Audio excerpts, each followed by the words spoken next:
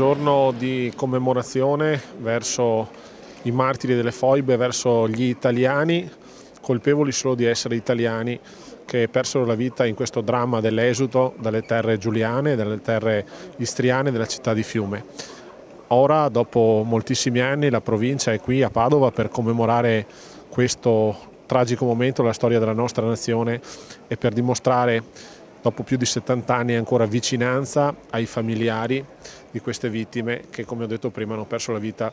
con la sola colpa di essere italiani. Oggi è importante rinnovare i valori che ci portano alla memoria delle vittime delle foibe, una storia che è anche stata come dire non eh, controversa, vittima anche un po' di, eh, di strumentalizzazione. Importante invece trovare come dire un'unità eh, di fronte alle tragedie della seconda guerra mondiale che hanno colpito il nostro paese e ricordarle anche oggi dove viviamo una guerra e quindi dove le atrocità che abbiamo vissuto noi in quel passato non tanto lontano ancora oggi si ripetono. Questa ricorrenza civile ci dà l'opportunità per riflettere insieme su alcune delle pagine più dolorose della nostra storia.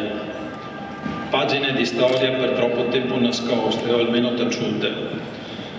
ma le storie degli esuli tra la fine della seconda guerra mondiale e i primi anni dell'Italia repubblicana non possono essere cancellate.